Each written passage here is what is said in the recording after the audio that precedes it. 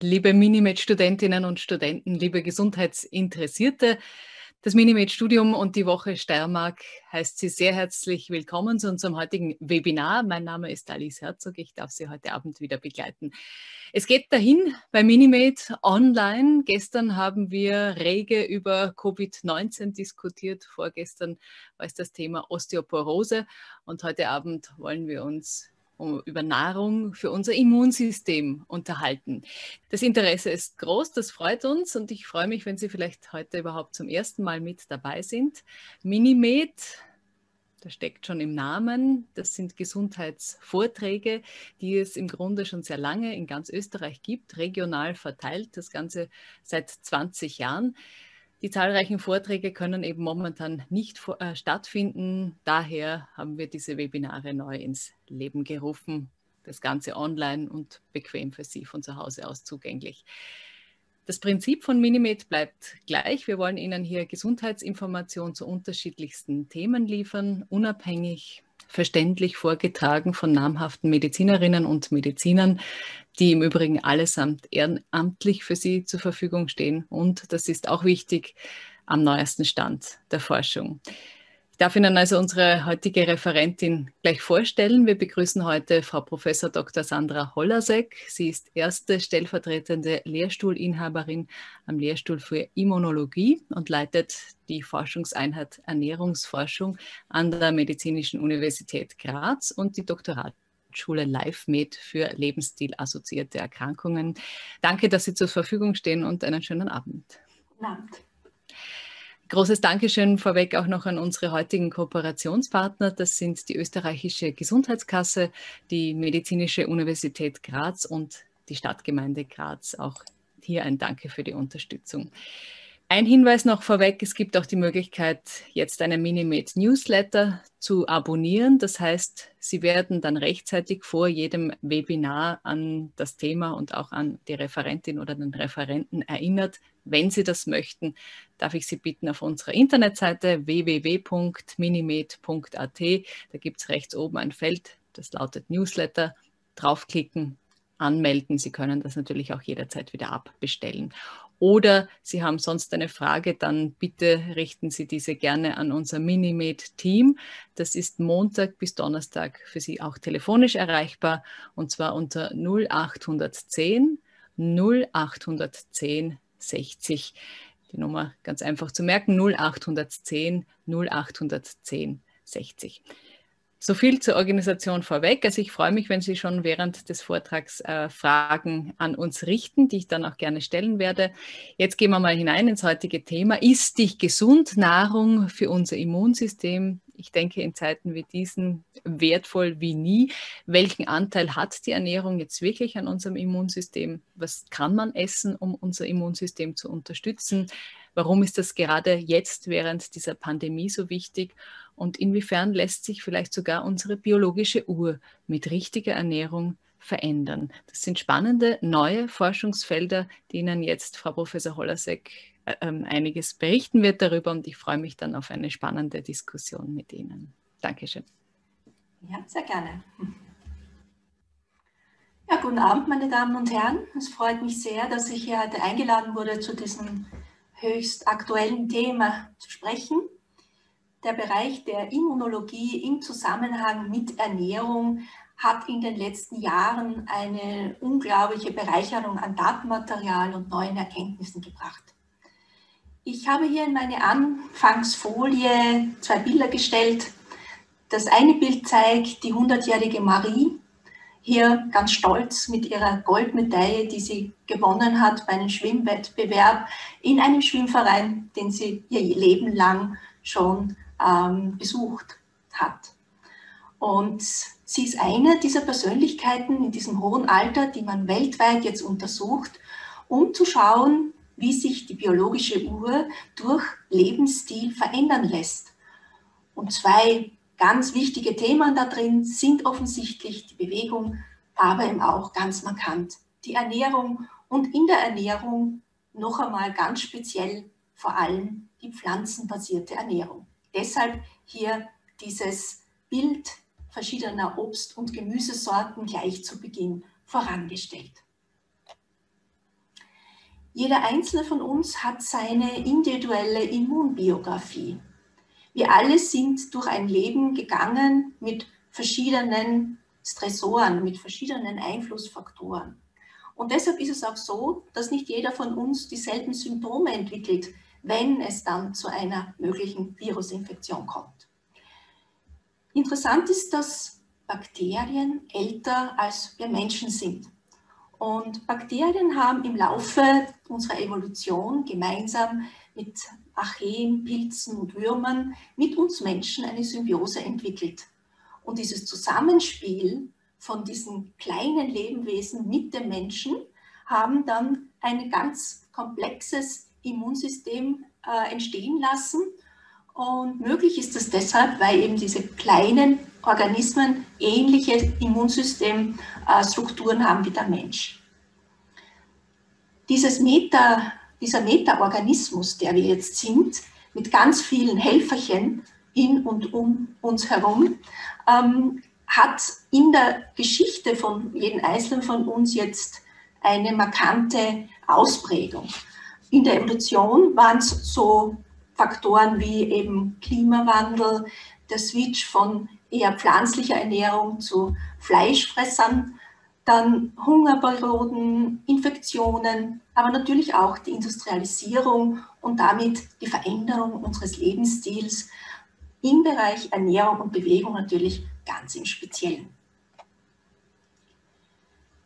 Unsere Mikrobiota verändert sich im Laufe des Lebens. Das ist mittlerweile klar. Ganz spezifisch können wir heute die Mikroorganismen an uns und in uns vermessen.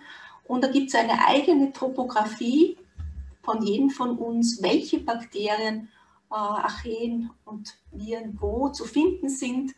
Interessant ist dabei der Magen-Darm-Trakt, der sehr besonders untersucht ist. Da gibt es am meisten Daten.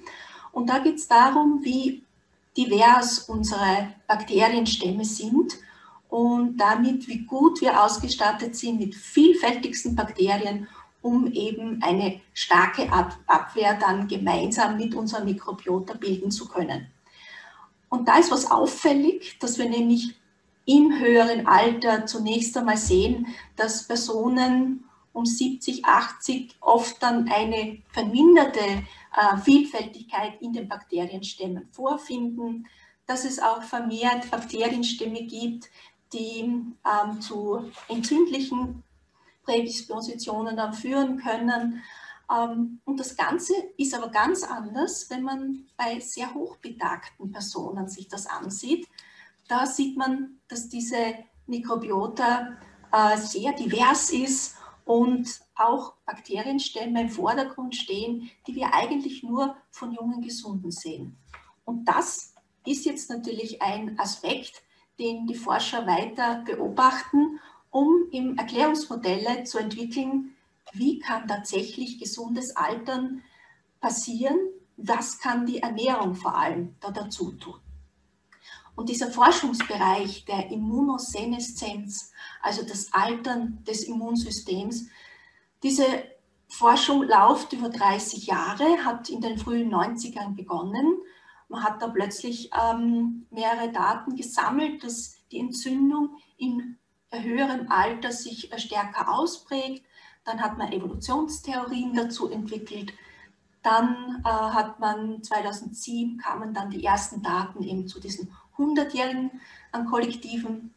2010 waren dann die ersten starken Studien zum Mikrobiom als Erklärung. Und erst in den letzten Jahren ist es tatsächlich so, dass es als Evidenz gilt, dass auch die Ernährung einen wichtigen Faktor dabei spielt, wenn es darum geht, die Veränderung oder vielleicht sogar die Schwächung des Immunsystems mit dem Lebensalter aufzuhalten. Und so geht es darum, die physiologische Immunoseneszenz, also die Veränderung des Immunsystems mit dem Alter, nicht in ein Inflammaging zu führen, also ein Entzündungsgeschehen im Alter, das zu hoch sich, entwickelt und damit dann auch chronische Erkrankungen äh, mit sich zieht. Und das zeigt Ihnen diese Abbildung, wenn eben Entzündungsprozesse zu stark sich entwickeln, Dann haben wir hier im Zusammenhang äh, verschiedene Krebserkrankungen, Atherosklerose, Gefäßerkrankungen, Insulinresistenz und Typ-2-Diabetes, aber auch das Gehirn ist beeinträchtigt. Es kommt zu ähm, Gedächtnisschwäche und Erkrankungen wie Alzheimer oder Demenz.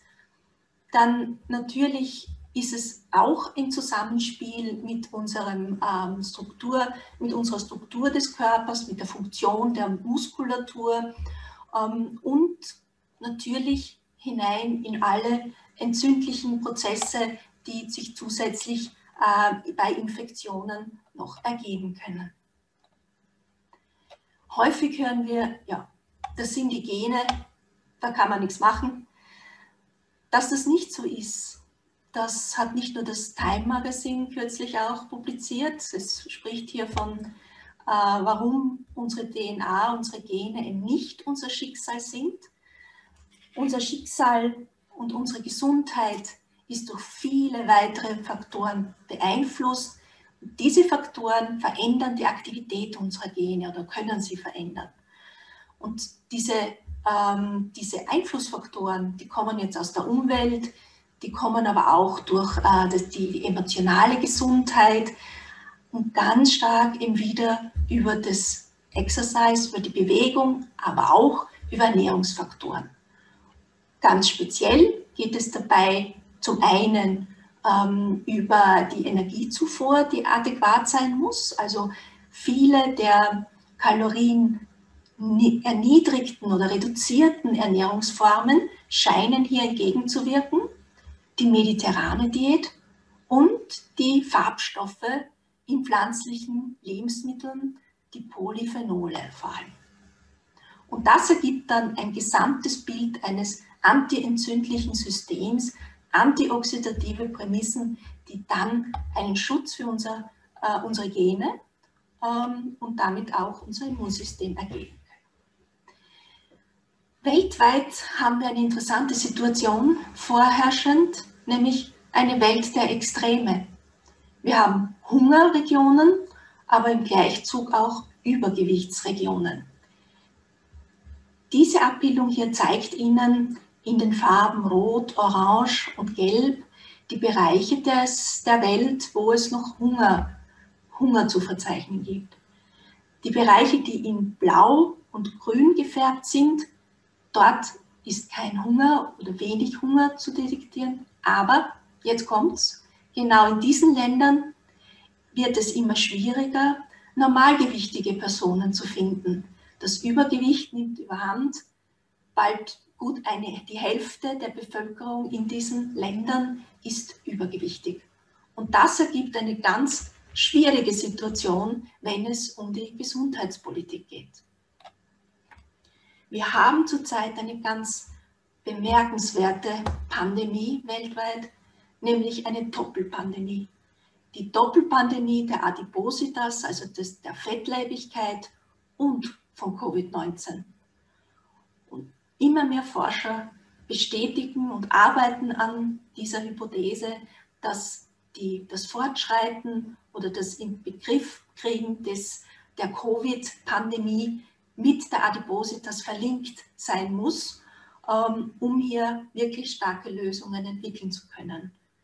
Warum das so ist, das ähm, zeigt Ihnen hier diese Abbildung, mechanistische Hintergründe ähm, zeigt man bisher in den Bereichen eben von Stoffwechsel, äh, Fehlleitungen zu hohen Insulinspiegeln, äh, in der Insulinresistenz, dann ein Immunsystem, das gestört ist, das eben proinflammatorisch entzündlich ausgeprägt ist und die allgemeine chronische Entzündung bei Übergewicht, die dann noch einmal mit einem unglaublichen Boost von Zytokinen ähm, hier eine, eine Situation ergibt, die Begleiterkrankungen, aber dann eben auch die wirklich klinischen Manifestationen der Infektion äh, von SARS-CoV-2 ergeben und damit eine ganz schwierige Situation äh, hier uns vorlegt, die wir differenziert nun aufrollen und damit vielleicht und hoffentlich auch neue Therapien und präventive Maßnahmen entwickeln können. Ein Hauptthema darin ist die Unterscheidung von gesunden und kranken Fettgewebe. Physiologischerweise sind wir aufgebaut von Muskel, Fett und Knochenmasse. Und das Schwierige an Gesunderhalten der Fettmasse ist die Ausprägung. Das heißt, je länger ich unphysiologisch viele Fettzellen in mir trage, und das passiert immer dann, wenn ich mich zu hochkalorisch ernähre, über den Hunger esse, für über, über eine längere Zeit lang, dann bilden sich neue Fettzellen und dann bilden sich auch ähm, Fettgewebestrukturen, äh, so wie Sie es hier sehen, mit einem Gewebe, das gespickt ist, ähm, mit einem, einem, einem Risikopotenzial Richtung Entzündung, Richtung aber auch von einer Explosion von ähm, Transportelementen wie das ACE2, das auch die Durchlässigkeit von äh, SARS-CoV-2-Virus verstärkt, dass auch die Verteilung von SARS-CoV-2 möglicherweise verstärkt. Der Übergewichtige hat jetzt nicht nur ein krankes Fettgewebe, wenn das länger schon äh, so der Fall ist, sondern auch gestörte Membrane, gestörte äh, durchlässige äh, Membrane, wo eben dann auch das Virus sich besser verbreiten kann und damit auch eine stärkere Symptomatik sich entwickeln kann durch eine stärkere Viruslast. Übergewicht vor allem, und da ist es tatsächlich so, dass es offensichtlich das Bauchfett ähm, stark hier betrifft, das viszerale Fett, das ähm, dann zu einer, einer Entwicklung von immunrelevanten ähm, Veränderungen kommt. Es kommt zu einer Störung der allgemeinen Zellkommunikation. Es kommt zu einem chronischen Entzündungsgeschehen. Es kommt zur mechanischen Belastung klarerweise schon allein über die, ähm, über die körperliche Gewichtung von Fettgewebe. Und es kommt zu einem arteriellen ähm, Lungenhochdruck, was wieder die Gefahr einer, einer weiteren stärkeren Symptomatik bei einer Infektion von SARS-CoV-2 ergeben kann. Jetzt haben wir in der Ernährung verschiedene Möglichkeiten, diese einzustufen, inwiefern sie tatsächlich immunstimulierend, immunverändernd wirken könnte. Und ein so ein Index in der Ernährung ist der sogenannte Dietary Inflammation Index. Was sagt er jetzt aus?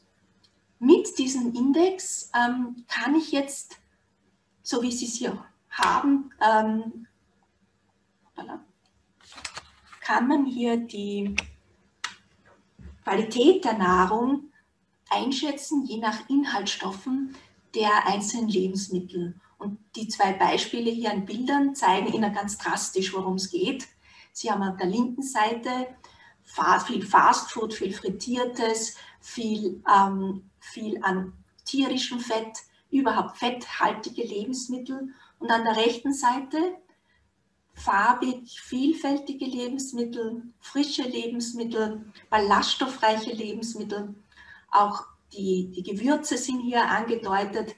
Ähm, damit sehen wir, dass es hier um eine vielfältige pflanzenbasierte Ernährung geht, eben mit ähm, den genannten Inhaltsstoffen in vor allem Pflanzen, ähm, die dann zu einer Reduzierung des Entzündungsprozesses äh, führen kann, können und das Immunsystem damit entlasten und stärken können. Wie schaut es nun in Österreich aus mit unserer Ernährung? Der aktuelle Ernährungsbericht zeigt uns leider, dass 41 äh, Prozent der Bevölkerung übergewichtig oder stark übergewichtig sind. Und dass gerade bei wichtigen Schlüsselmikronährstoffen, die für unser Immunsystem relevant sind, und das sind nun ähm, bioaktive Substanzen wie Beta-Carotin oder Vitamin D, Vitamin E, B2, B6, B12, Vitamin C oder auch Eisen und Folsäure. Und da erreichen, reicht ein Großteil von uns leider nicht die Empfehlungen durch die Aufnahme der Nahrung. Und damit ist es klar, wie wichtig es wäre, da mal genauer hinzusehen. Pflanzliche Lebensmittel haben eben auch einen Großteil dieser Schlüsselnährstoffe in sich. Und so könnte man nun versuchen, eine Immunonutrition auf Steirisch, auf Österreichisch zu definieren. Wie könnte man durch einheimische Lebensmittel, die hier wachsen und damit natürlich auch eine Klimarelevanz haben, eine Nachhaltigkeitsrelevanz auch noch mitbringen, auch unser Immunsystem unterstützen. Die einzelnen äh, Komponenten möchte ich jetzt kurz mit Ihnen durchgehen und erklären. Starten tun wir eben mit diesen pflanzlichen Farbstoffen, den Polyphenolen und den Carotinoiden. Beide Komponenten haben jetzt auch einen enormen Einfluss auf die Ausprägung und Verteilung unserer Fettmasse. Sie können die Fettoxidation steuern und damit tatsächlich auch unsere Fettmasse. Und damit, wie wir jetzt vorhin kurz besprochen haben, auch einen wesentlichen Beitrag zur Immunsteuerung geben. Wo finden wir jetzt diese Komponenten? Hoch, äh, hohe Anteile in Apfel, äh, dunklen Beeren wie Aronia und ähnlichen Gewürzen wie Zimt, Kümmel, Rosmarin, Thymian, dunkler Schokolade, Kakaopulver, Spargel, Karotten, Zwiebel, Spinat, Grünkohl, Hülsenfrüchte, die werden leider sehr häufig vergessen, dass die enorm entscheidend sind, sie auch in den täglichen Speiseplan einzubringen. Nüsse, da vor allem die Walnüsse und Haselnüsse und Mandeln und auch sehr saisonrelevant die Kastanie. Das Eisen. Eisen spielt äh, hier jetzt eine enorme Rolle in der Immunantwort und hat hier auch eine, einen Einfluss auf die Ausprägung von den sogenannten Helferzellen des Immunsystems. Reichlich finden wir Eisen in Schweineleber, Lammsteak, Sesam, Samen und Öl, Kürbiskerne, Amaranth, Bohnen, Linsen, Leinsamen, Hafer und Spinat. Dazu vielleicht nur noch ergänzt, bei Personen, die weniger Fleisch oder kein Fleisch essen, ist bei der Aufnahme von Eisen auch relevant, dass man daran denkt, dass Vitamin C die Aufnahme von äh, Nicht-Hemeisen, also Eisen aus pflanzlichen Quellen, verstärkt. Das heißt, die Kombination mit, ähm, eben, ähm, mit äh, Vitamin C-hältigen Lebensmitteln, dazu kommen wir ja dann noch, ja, macht durchaus großen Sinn. Zink. Zinkmangel ist leider nicht selten zu sehen und auch hier haben wir ähm, eine Auswirkung auf T-Zellen bestätigt. Das Zink hat jetzt eine interessante Eigenschaft. Es bleibt nämlich bei chemischen Prozessen im Körper stabil und ist damit auch ein wesentlicher Bestandteil ähm, von antioxidativen Enzymen. Zinkquellen, die haben wir im Lammfleisch, Schweineleber, Rindfleisch, Kürbiskernen, Sesamöl und Samen, Haferlinsen, Hartkäse. Selen, auch ein wichtiges, äh, wichtiges Spurenelement. Selen ist nämlich auch Bestandteil antioxidativer Enzyme und schützt damit die Immunzellen an sich vor antioxidativer ähm, Beeinträchtigung und Stress. Selenlieferanten ist zum Beispiel der Eitrotter Vollkorn, Getreide, Sesamöl und, und Samen wieder, Erdnüsse und Fisch. Vitamin A. Da ist jetzt äh, interessant der Kontext von Haut und Schleimhaut und Immunsystem. Vitamin A ähm, ist jetzt in der Regeneration der Haut und der Schleimhaut sehr essentiell beteiligt. Und da diese Komponente, die, die, der Haut, der Schleimhaut, die äußerste Barriere, die natürliche Barriere beim Eindringen von Viren beim Menschen darstellt, ist es so die, der, der, erste, der erste Nahkampf, äh, die Nahkampflinie und die unterstützt man jetzt mit einer adäquaten Aufnahme von Vitamin A oder auch dem Provitamin Beta-Carotin. Vitamin A ist auch im Darm an der Darmimmunabwehr essentiell beteiligt. Wo finden wir jetzt Vitamin A? In Schweine- und Rindsleber, Karotten, Süßkartoffel, Spinat, Melonen und roten Paprika. Vitamin D auch immunstärkend ganz massiv beteiligt. Warum? Weil wir mittlerweile wissen, dass Vitamin D-Rezeptoren sich auf eigentlich allen Immunzellen befinden und damit entsteht dann dieser starke regulative Einfluss von Vitamin D aufs Immunsystem. Wir sehen weltweit auch in Ländern, wo starke Sonneneinstrahlung besteht, manchmal ein Mangel an Vitamin D vorzufinden ist äh, und äh, damit natürlich die, die Vitamin D-Zufuhr aus der Nahrung, wenn sie auch nicht einen großen Anteil ausmachen kann, aber sehr wohl auch einen wichtigen Beitrag geben kann, in den Fokus rückt. Vitamin D finden wir in Fisch, in Makrelen, Lachsforellen, Regenbogenforellen, Saiblingen, Aalen, Heringen, Lachs, aber auch in Pilzen. Das Vitamin E ist ein starkes fettlösliches Antioxidant und ist damit ein wichtiger Zellschutz bei Immunreaktionen. Darüber hinaus ist ähm, die Funktionalität von Proteinen und Fettsäuren und die Produktion von Antikörpern entscheidend von Vitamin A gesteuert. Wo finden wir Vitamin E? Vitamin E, nicht A, Vitamin E in diesem Fall. Weizenkeimöl, Sonnenblumenöl, Rapsöl, Olivenöl, das steirische Kürbiskernöl, Haselnüsse, Mandeln, Grünkohl und Kichererbsen. Vitamin C, auch ganz wichtig im antioxidativen Systemen. Sie, das Vitamin C ist sogar das wichtigste wasserlösliche Antioxidant. Es spielt eine große Rolle im Redoxzell-Signalsystemen und damit auch als wichtiges Regulanz im Immunsystem. Jetzt haben wir bei Rauchern die besondere Situation, dass da der Vitamin C-Bedarf sich bis äh, 50 Prozent erhöhen kann. Und damit sollen Raucher ganz besonders über ihren äh, aufmerksam sein auf ihre äh, Vitamin C-Zufuhr. Finden wir Vitamin C in der Paprika, schwarzen Drehbissel, auch der Aronia, im Grünkohl, Brokkoli, Kiwi, Orangen, Sanddorn und auch den Creme. B-Vitamine. B-Vitamine spielen vor allem im Energiestoffwechsel eine besondere Rolle und auch im Zellaufbau.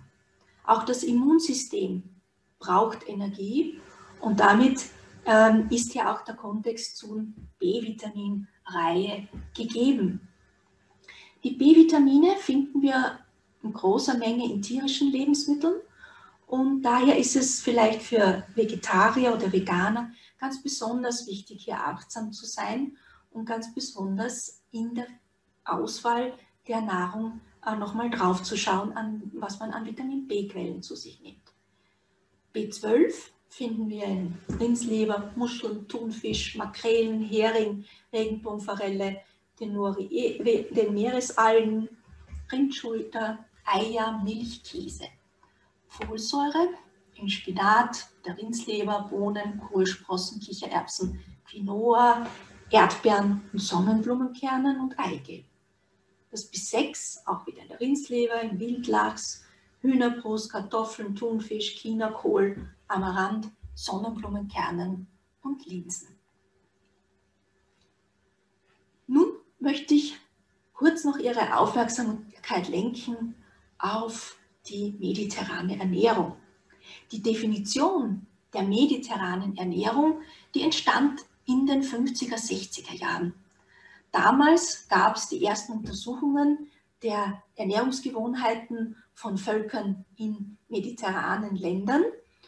Und da hat man gesehen, dass die, diese Personen äh, eben täglich ihr Olivenöl äh, meist nicht erhitzt zu sich nehmen, stark würzen und einen hohen Anteil an Pflanzen in ihrer Nahrung haben, aber auch pro- und präbiotische Produkte, also gesäuerte Milchprodukte zu sich nehmen, Käse, Frischkäse, wenig Fleisch, viel Fisch. Das ist so, sind so die Eckpunkte der mediterranen Ernährung.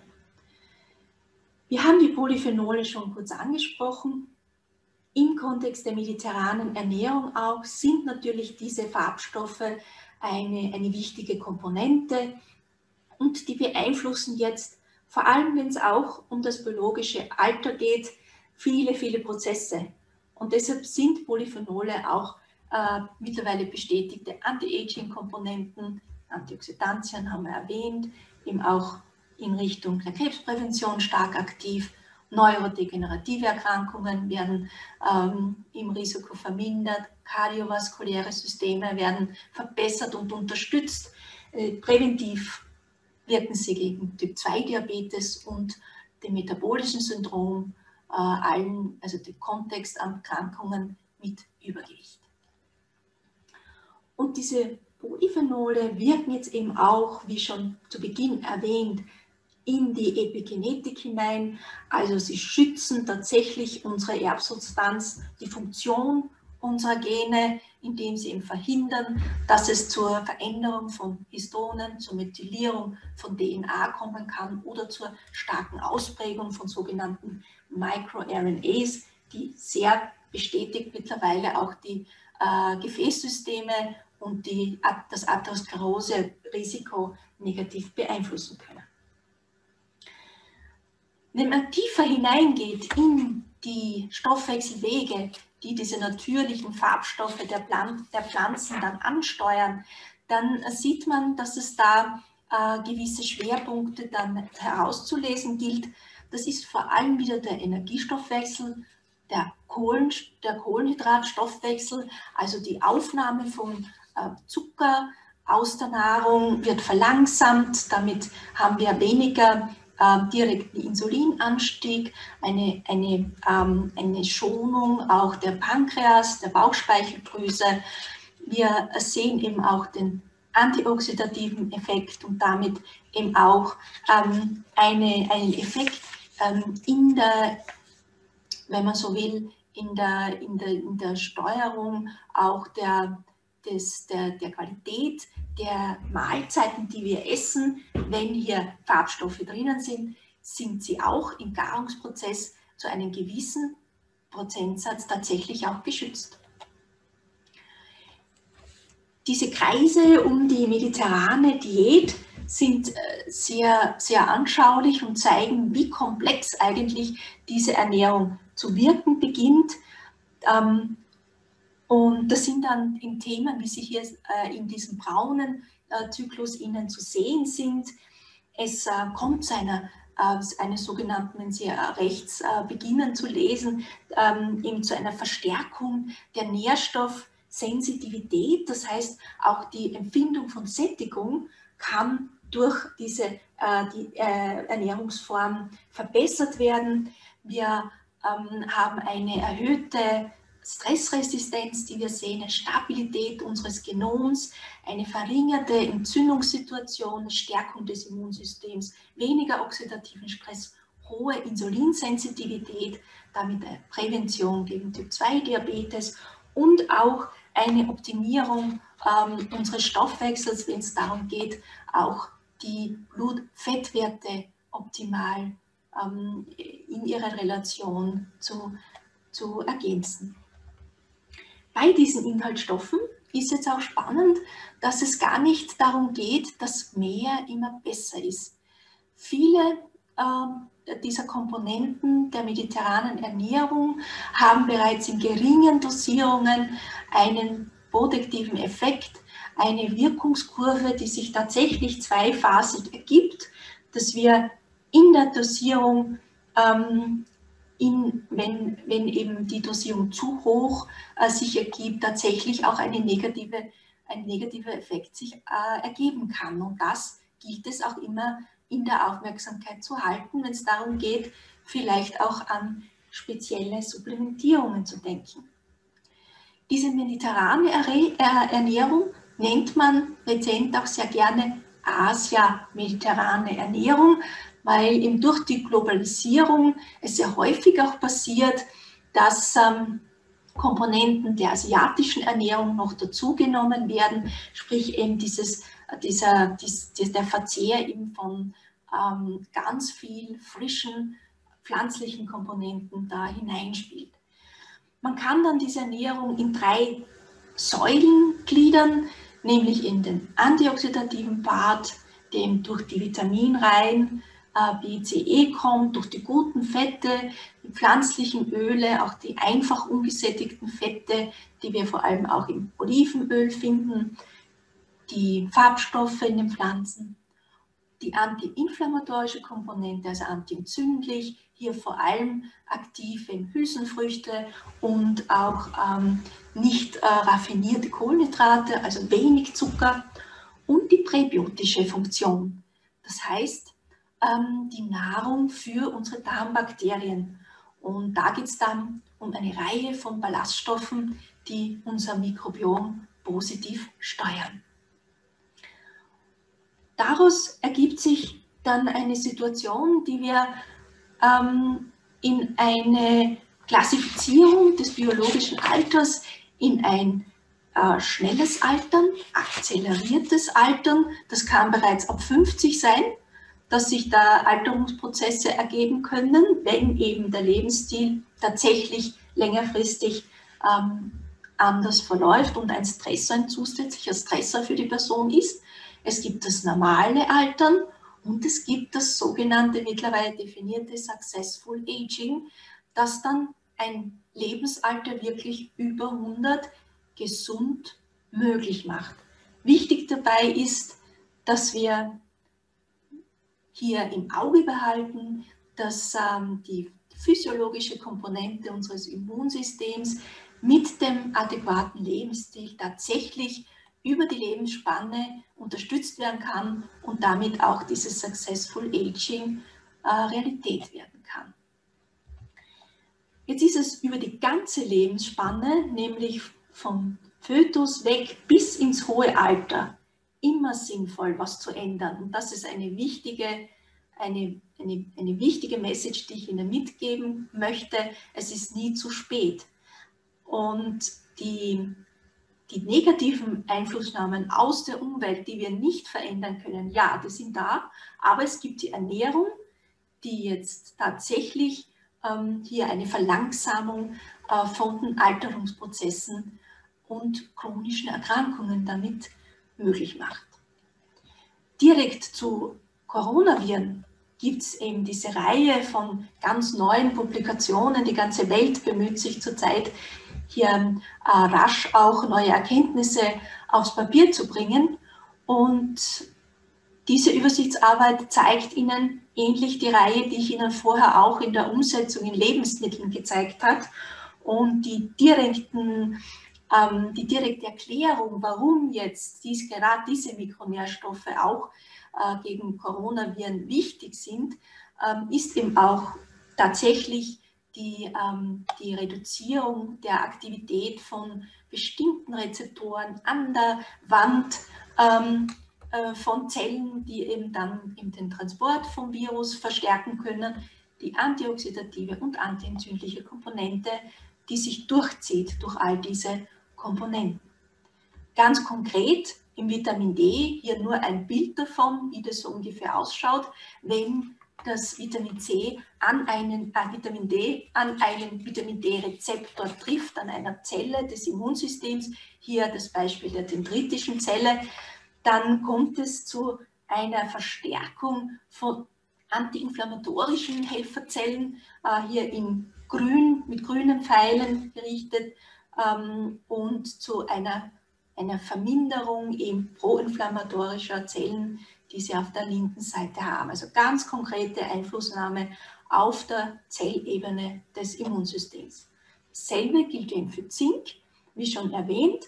Auf der linken Seite sehen Sie so eine Darstellung äh, eben des, des, des, verminderten Eintritts in die, über die Zellwand durch das Blockieren äh, von ACE2-Interaktionen durch, durch Zink, durch die Aufnahme von Zink.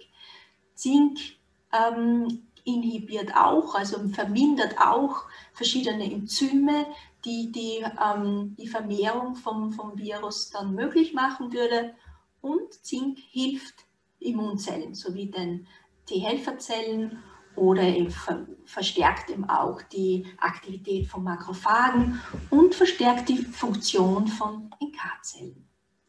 Und dieses komplexe Bild wollte ich Ihnen hier mitgeben, damit Sie auch einen Eindruck haben, was passiert, wenn jetzt so ein SARS-CoV-2-Virus auf uns trifft, was dann im Immunsystem äh, in den Start geht.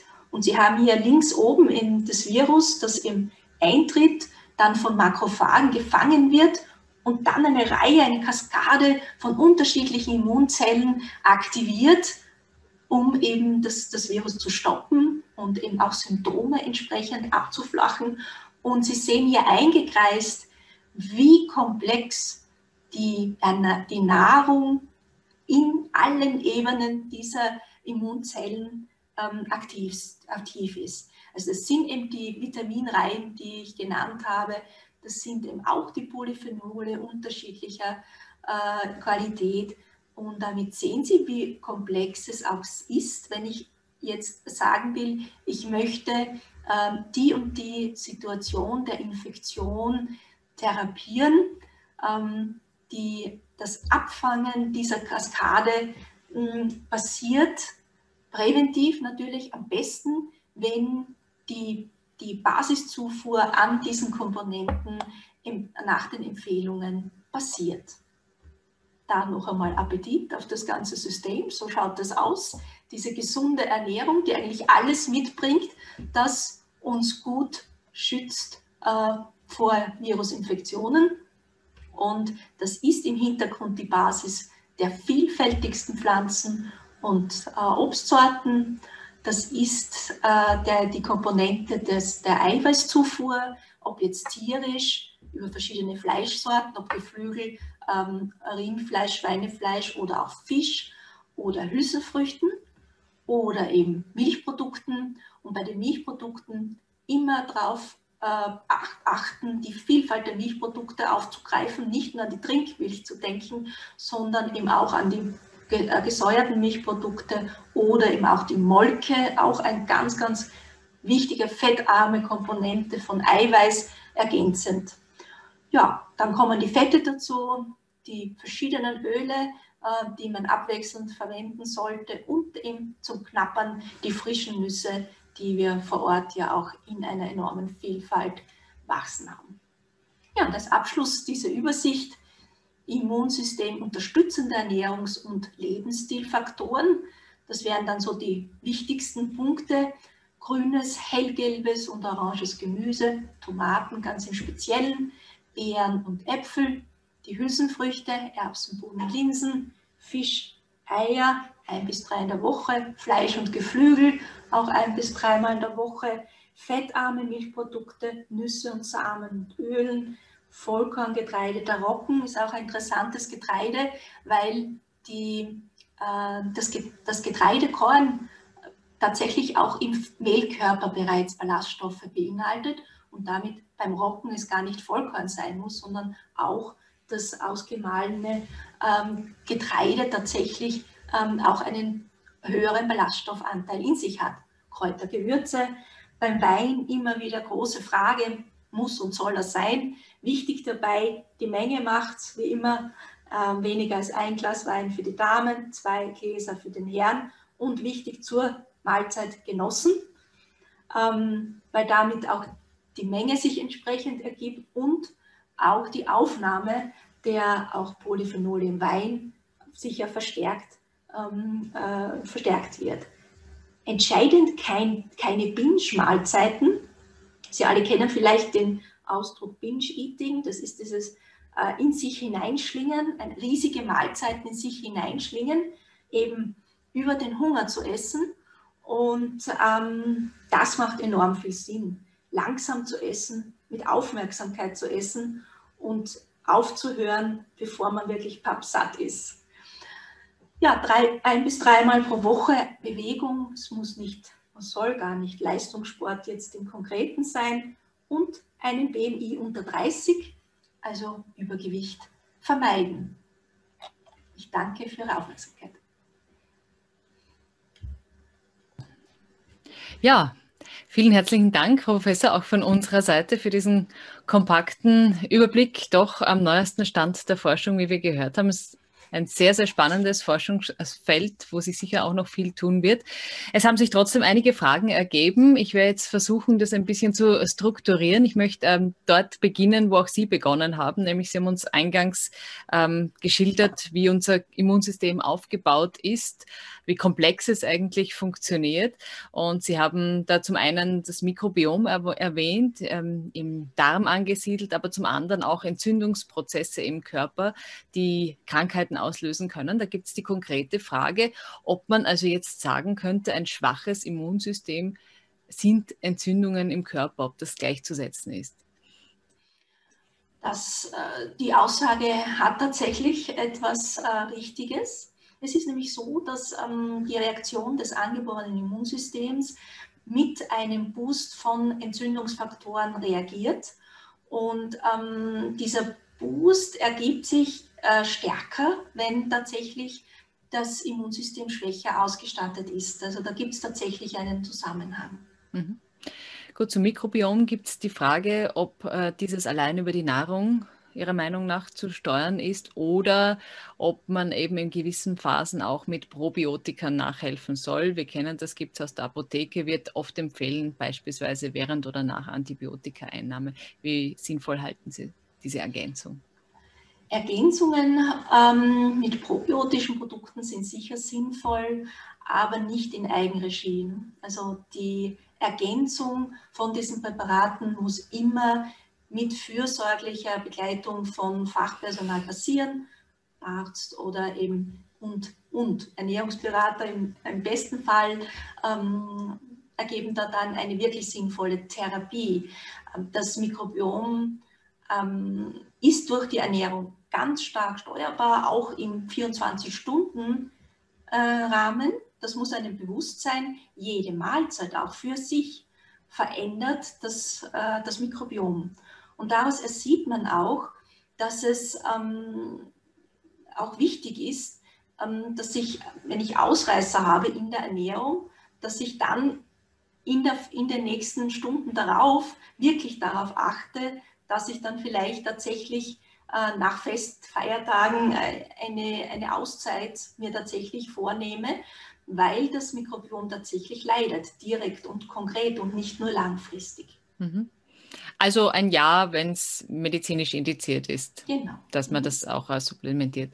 Gut, dann haben Sie kurz gesprochen über den Zusammenhang der Covid-19-Erkrankung jetzt ganz aktuell und äh, der Adipositas, also Übergewicht.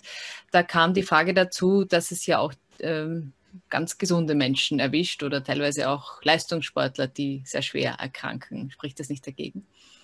Spricht sicher nicht dagegen, ganz im Gegenteil es ist so, dass die Hälfte der Covid-Patienten übergewichtig ist. Damit sieht man, es kann ein Faktor sein, aber deckt natürlich nicht, dass es gilt nicht als Erklärungsmodell über alle betroffenen Patienten. Aber die mhm. Hälfte ist ein sehr hoher Prozentsatz. Mhm. Gilt wahrscheinlich auch für diese Dame, die da schreibt, es hat jetzt nichts mit Covid-19 zu tun, sondern sie hat offensichtlich Brustkrebs bekommen, ist, ernährt sich gesund, ist sogar zu 95 Prozent Vegetarierin, ähm, schlank, mediterrane Lebensmittel und trotzdem Krebserkrankung. Wie gesagt, es ist nicht nur die Ernährung, die wir quasi als Umweltfaktor mit der wir als Umweltfaktor äh, zu tun haben, sondern eine ganze Reihe weiterer Einflussfaktoren, die wir nicht, nicht steuern können. Ähm, man muss es immer so sehen, in den ganzen Kanon von ähm, Stressoren, von Einflussnahmen, die auf uns einströmen, kann ich die Ernährung verändern, kann ich sie selbst verändern. Und das ist der Punkt. Also das kann ein guter Beitrag sein, um eben die Allgemeinbelastung mit der Ernährung noch einmal abzufangen und nicht noch zu verschlechtern. Mhm.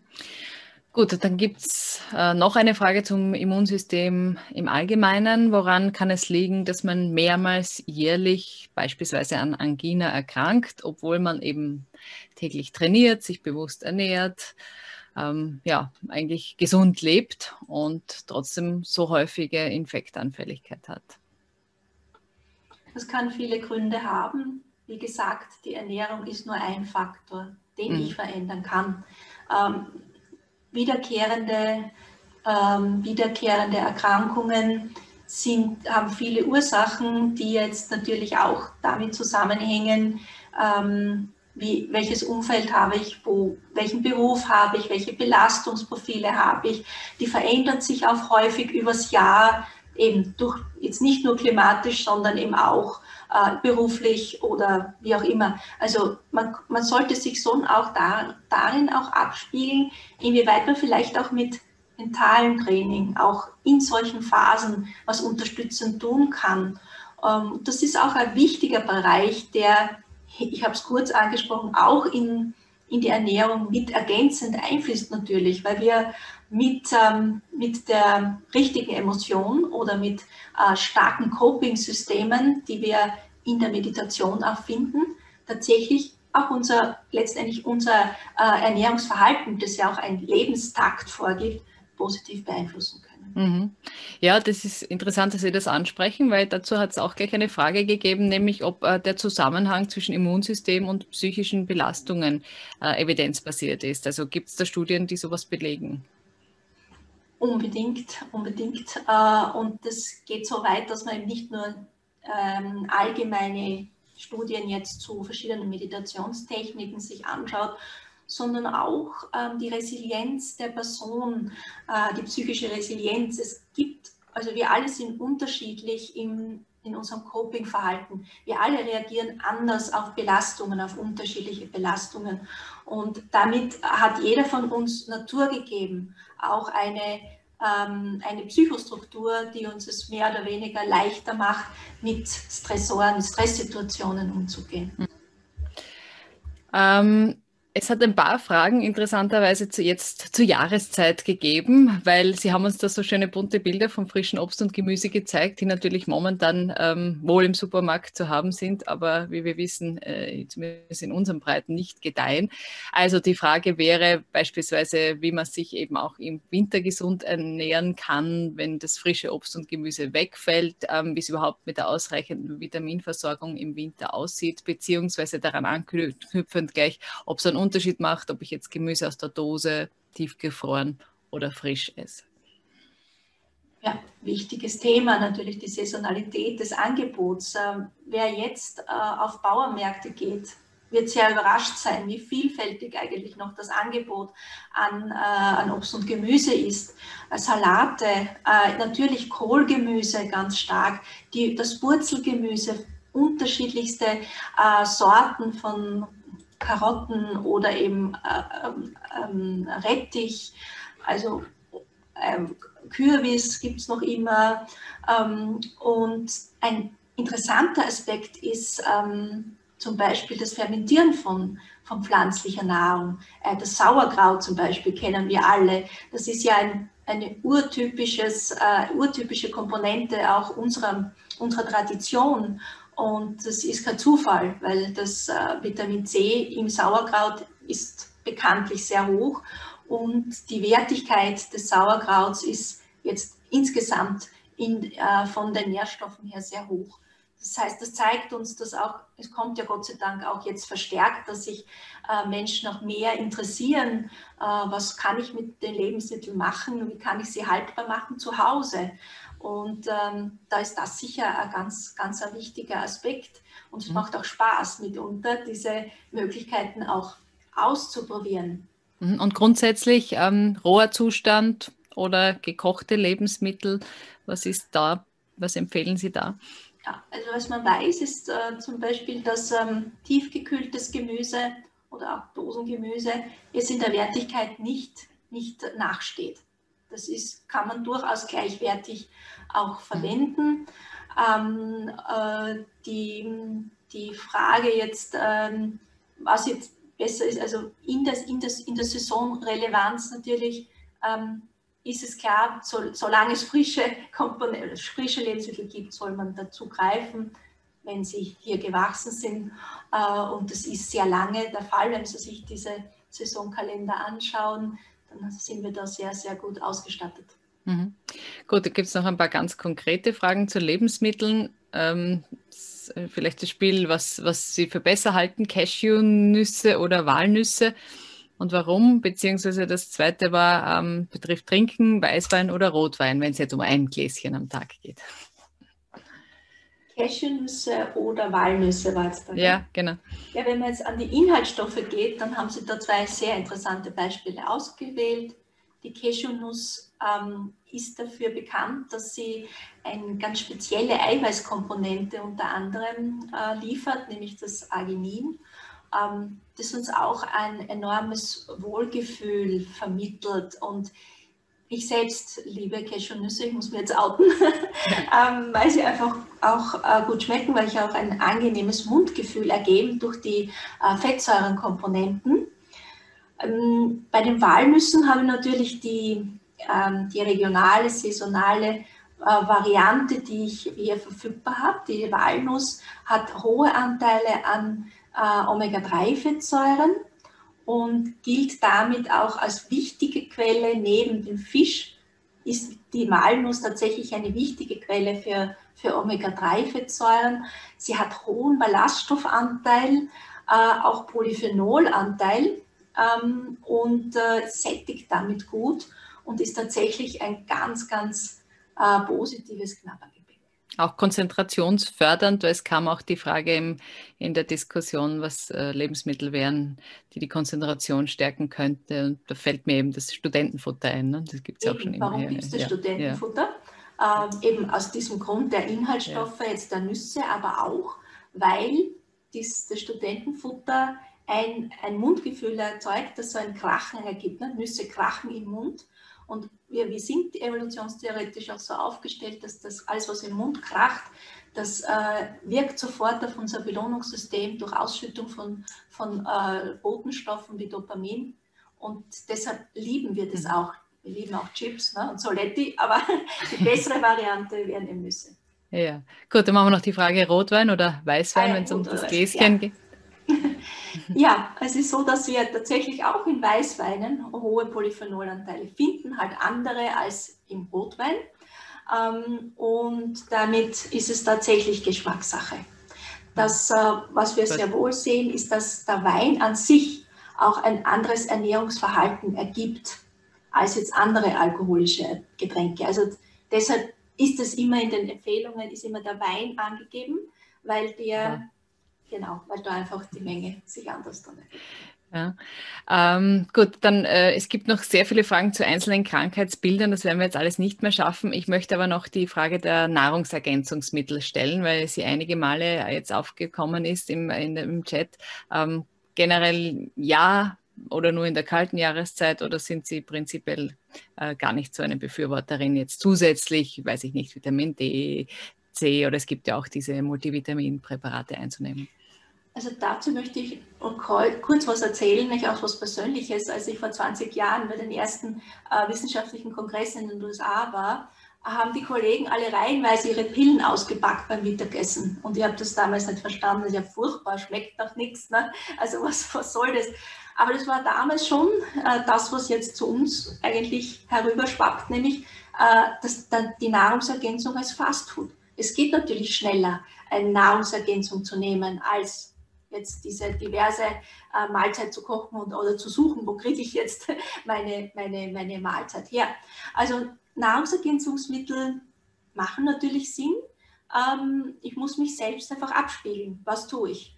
Ähm, oder habe ich Phasen im Leben, wo es jetzt nicht möglich ist, mich in dieser Vielfalt zu ernähren? Oder ja, ähm, dabei ist es aber ganz wichtig, ähm, dass ich wirklich immer daran denke, mehr ist nicht besser. Weil das passiert so häufig, dass Personen glauben, wenn sie jetzt die doppelte Menge nehmen, äh, ist es unterstützender. Ganz im Gegenteil. Wirklich darauf schauen, dass wenn sie äh, Präparate nehmen, am besten äh, nicht im Internet, sondern wirklich mit Fachpersonen im Verkauf in der Apotheke, wo man das besprechen kann und wirklich mit einer fundierten Abklärung. Mhm.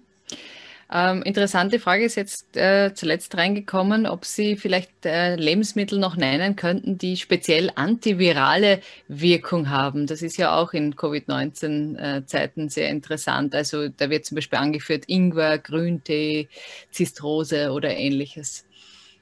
Ja, das genau die genannten, mhm. aber es sind natürlich auch der Knoblauch und, der, und, und Krenn und äh, mhm. auch, auch Zwiebel. Das sind so Komponenten, die extrem antiviral auch wirken. Mhm. Dann gibt es noch die Frage, ob es spezielle Nahrungsmittel gibt, die den Blutdruck senken? Speziell den Blutdruck senken. Äh, da gibt es eine ähm, interessante Studie dazu, dass sogar der Geruch von Speisen den Blutdruck senken kann. Mhm. Ähm, da gab es eine ganz frühe Studie schon zum, zum Geruch von verschiedenen Äpfeln, dass die auch den, den Blutdruck unter, also wirklich auch auf, beeinflussen können. Na, aber jetzt konkret zur Aufnahme von Nahrungsmitteln. Ähm, Blutdruck senkend wirkt immer eine Salzreduktion, vor allem dann, wenn man zum Beispiel übergewichtig ist. Wir wissen, dass alle übergewichtigen Personen salzsensitiv sind, wenn es um Blutdruck geht. Also da macht es wirklich Sinn äh, zu schauen, dass man eben keine Fert oder wenig Fertigprodukte und Convenience-Produkte isst, wo eben viel Salz drinnen ist äh, und tatsächlich den Salzstreuer vom Tisch nimmt. Mhm. Mhm. Ähm, Stichwort Autoimmunerkrankungen hat es auch einige Fragen dazu gegeben, beziehungsweise Intoleranzen. Ähm, da gibt es eine Dame, die schreibt, mein, mein, Arzt hat mir gesagt, das Immunsystem richtet sich gegen mich selbst. Also da steht immer eine Autoimmunerkrankung im Raum. Kann man das so sagen? Kann sich das Immunsystem gegen einen selbst richten? Das ist die richtige Definition, ja, das ist mhm. korrekt. Das mhm. ist korrekt. Ähm, hat, spielt da auch Ernährung eine Rolle oder ist das was ganz anderes? Ist ein ganz spezieller Bereich. Also da würde mhm. ich jetzt nicht so allgemeine Statements abgeben wollen. Da muss man wirklich spezifisch in die eigen, in die ganz spezielle, in das spezielle Erkrankungsbild schauen. Mhm. Und dann gibt es noch die Frage, ob, ob es sowas wie eine angeborene Immunschwäche geben kann oder beziehungsweise ob ein Kind so auf die Welt kommen kann. Ähm, da ist sicher das Thema des Mikrobioms. Sie kennen diese Thematik, äh, mhm. Kaiserschnitt oder nicht. Da gibt es Daten, dass eben das natürliche Mikrobiom über die, über die Mutter mitgegeben tatsächlich dann im Staat auch letztendlich ein stärkeres Immunsystem ergeben kann. Ähm, das ist sicher ein Faktor, den man, mhm. den, der bestätigt ist. Ja. Gut, dann darf ich Sie abschließend noch äh, fragen, ob Sie vielleicht eine Literaturempfehlung haben oder ob Sie selbst etwas publiziert haben. Ähm, Damen und Herren wollten auch noch nachfragen äh, nach dem Time, äh, Times, Artikel aus der Times, den Sie zitiert haben. Vielleicht können Sie da noch ein paar Angaben machen. Mache ich gerne, ja. ja. Mhm. Oder zur Literatur an sich. Ähm, darf ich das dann Ihnen schriftlich übermitteln oder ja wir können ja. ja. wir können wir können das gerne äh, im Übrigen ist die Frage aufgetaucht ob man äh, den Vortrag noch ähm, auch im Nachhinein sehen kann ja kann man auf unserer Internetseite www.minimed.at wird das gesamte, gesamte Webinar für Sie online in der Videothek zugänglich sein. Ja, es gibt natürlich noch, noch und noch, noch äh, Fragen, aber irgend, ja, jetzt sind wir schon ein bisschen über eine Stunde. Wir haben immer rund eine Stunde für diese Webinare anberaumt. Äh, ich sage vielen Dank, Frau Professor, dass Sie sich die Zeit genommen haben, auch für die vielen Fragen, die da noch gekommen sind. Ich glaube, das war ein wunderbarer Überblick und ähm, wir freuen uns auf weitere spannende Forschungsergebnisse. Ich glaube, da ist noch, noch viel Luft nach oben und da wird die Zukunft sicher noch ähm, einiges auch zutage bringen. Dankeschön. Ich danke Ihnen. Danke. Für Ihren Beitrag. In diesem Sinne darf ich mich im Namen des Minimed-Studiums und heute auch der Woche Steiermark sehr herzlich von Ihnen verabschieden. Danke für Ihr Interesse, fürs Mitdiskutieren und ich würde mich freuen, wenn wir einander gesund wiedersehen. Alles Liebe, schönen Abend noch.